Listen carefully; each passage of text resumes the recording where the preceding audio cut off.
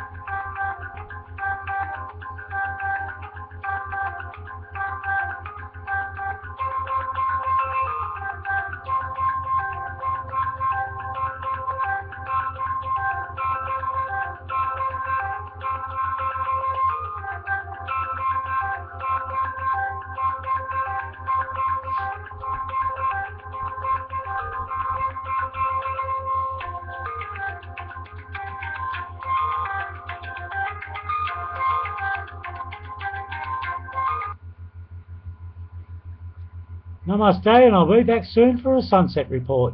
Keep on trucking.